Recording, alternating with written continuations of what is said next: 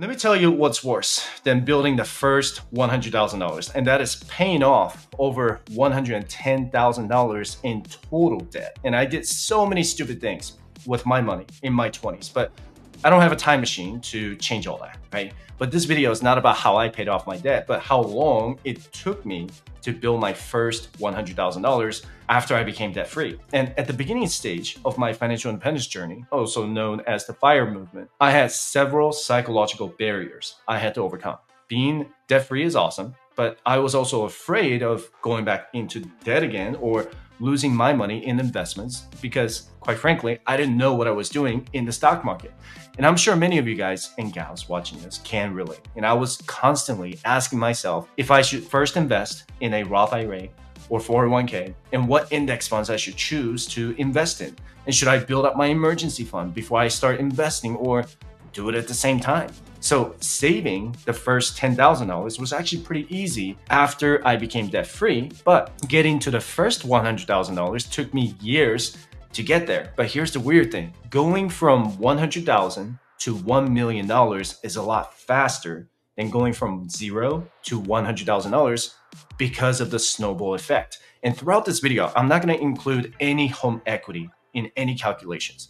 There's just gonna be savings and investments. Let me show you this. The late legendary investor, Charlie Munger, who recently passed away in November, said that the first $100,000 is the most important part of the journey to building your wealth, but it is by far the hardest part of your financial journey. He said the first $100,000 is a bush, but you got to do it. He didn't say bush, but I think you get the meaning, all right?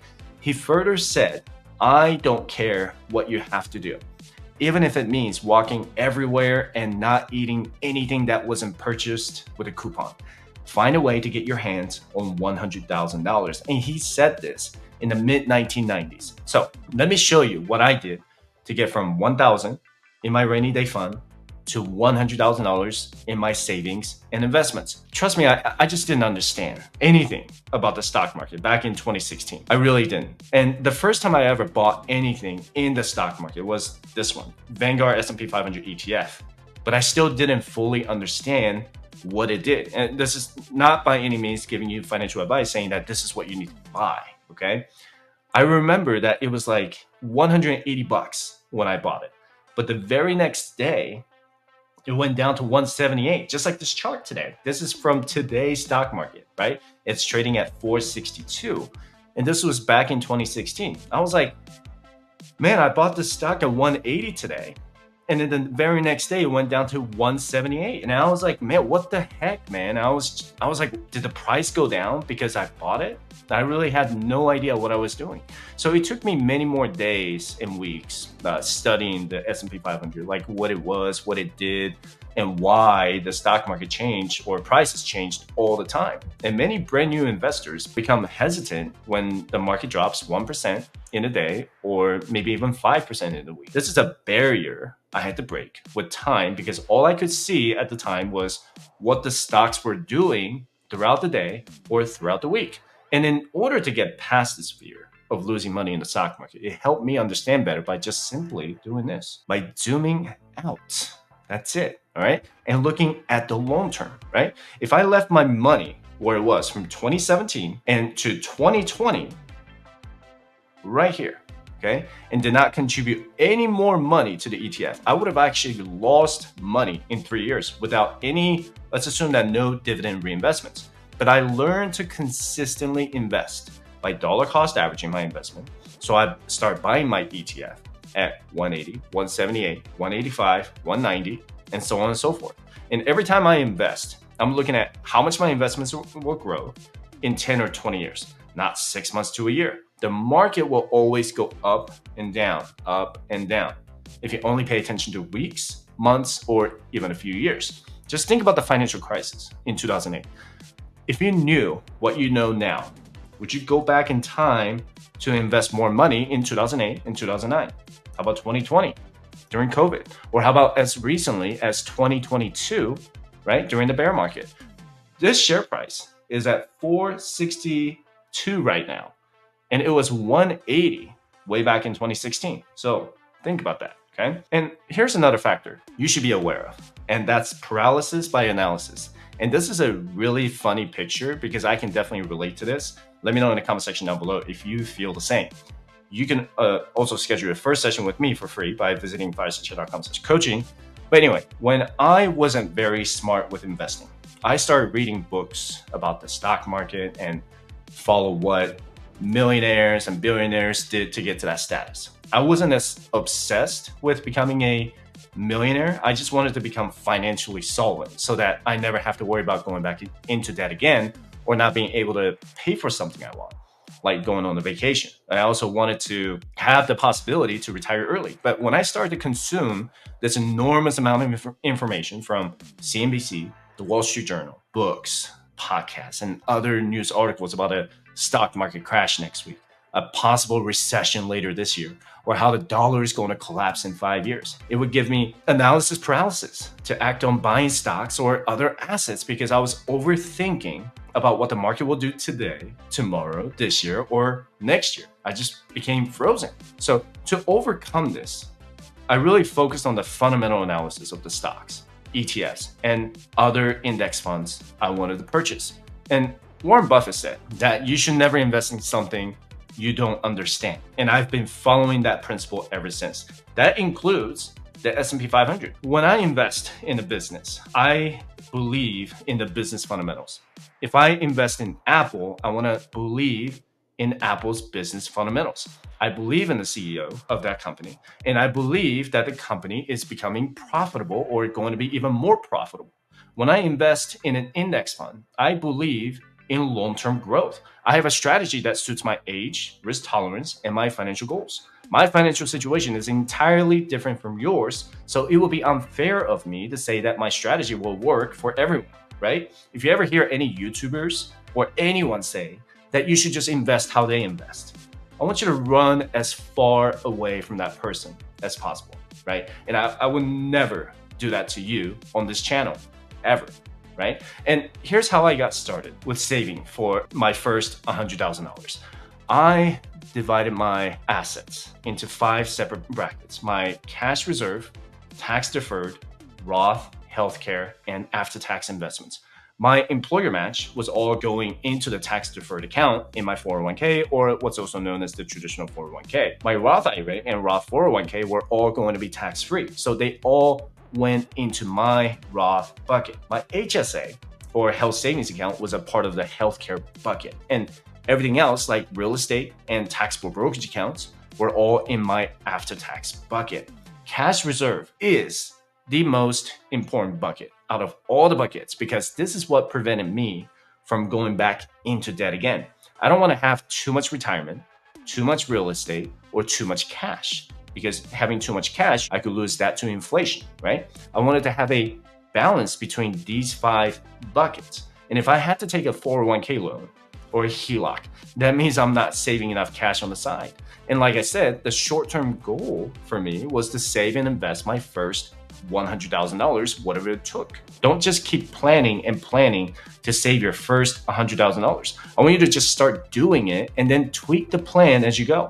It doesn't have to be perfect at all, or you're going to be stuck in paralysis by analysis right? So what do you think is better? Investing 500 bucks a month, making 10% return or investing $1,000 a month, making a 7% return on investment? You can't figure out how much you can invest without a budget. There's no way around it. I personally tested out the budgeting app called YNAB, and it's not just an app that can track your income and expenses, but it can even help you create a plan to pay down your student loans, car loans, personal loans, or credit cards a lot faster. So if you're ready to change your life by getting out of the paycheck to paycheck cycle, you can get a free trial without any credit card information by using the link in the description below. And delayed gratification is something I worked on when I was on my debt-free journey. And I spent two whole years paying off my stupid debt from credit cards, car loans, and personal loans to my 401k loan. I didn't save or invest because I had to focus everything on my debt. And I bit way more than I could chew.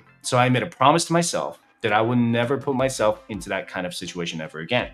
Once I became debt free, I was already mentally and psychologically ready to make short term financial sacrifices. I didn't buy a brand new car, I didn't buy fancy clothes, I've been wearing this same shirt for, I don't know, the last three years, maybe five years. I didn't buy a house I couldn't afford.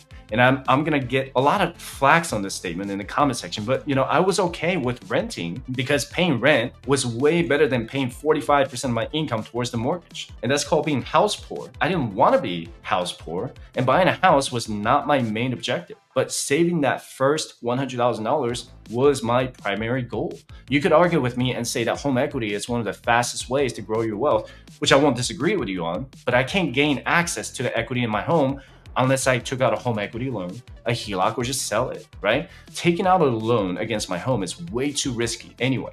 And that's one of the things I promised myself that I would never do. My primary home is always going to be an expense of mine, not an investment. My rental properties, on the other hand, are considered investments because renters are paying for the mortgage. That's the main difference between a primary home and an investment home. Here's how I built my first $100,000 with my investing timeline in 2016. So between January and May of 2016, I spent five months working on my cash reserve because that was the buffer I wanted to have before I ever went back into debt again. This is the common mistake that people make is that I'm just gonna keep investing and not have a lot of cash. Then you become cash poor, right? You wanna have that balance between those two. So starting in January, I only had $1,200 in my rainy day fund, or now my emergency fund, but I had zero debt. So my goal was to have $20,000 set aside in my emergency fund in five months, just in case I ever became unemployed. Again, this was the first step I needed to accomplish to prevent me from going back into debt. And I did everything I could to set aside cash and put it in my high yield savings account or HYSA. So I didn't start investing at all other than my 401k match until I reached $20,000, which covered about six months of my expenses at the time back in 2016. Then the next step was to take a look at my 401k plan.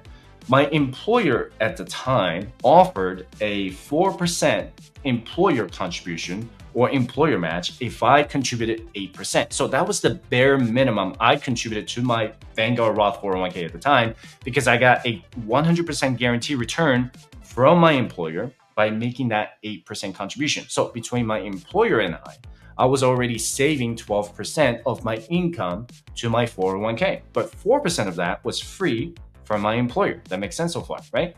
And so by May 2016, I had a fully funded emergency fund with six months of expenses set aside and a little bit of 401k invested. The next step I took was to max out my Roth IRA contribution. I didn't just do the bare minimum with my Roth IRA. I went to the maximum contribution of 5,500 in the year 2016.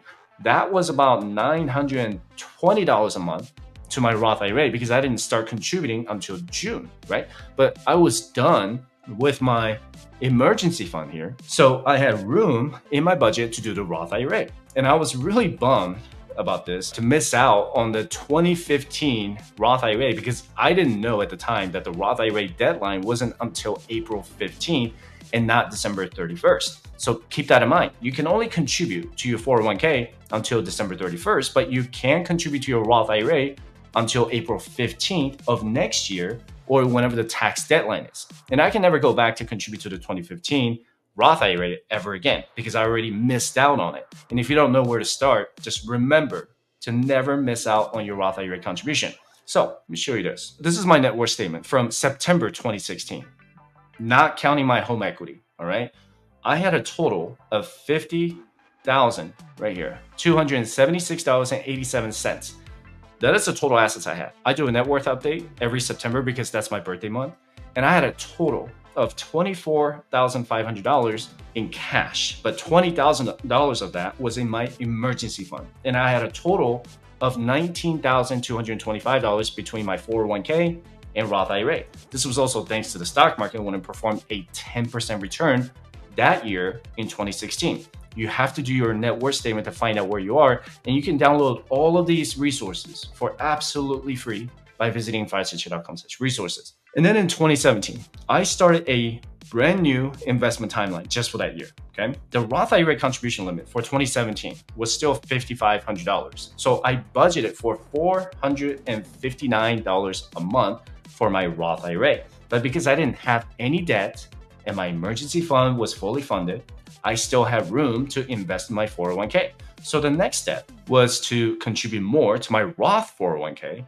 And instead of thinking about what percentage I wanted to contribute, I started thinking about the maximum 401k contribution, which was $18,000 as an employee way back in 2017.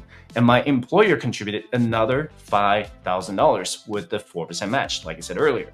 But here's something else I discovered about the 401k. I wasn't just limited to $18,000. My maximum limit was actually $54,000 in 2017. You know what the limit is in 2024? It's $69,000, not including the catch-up contribution.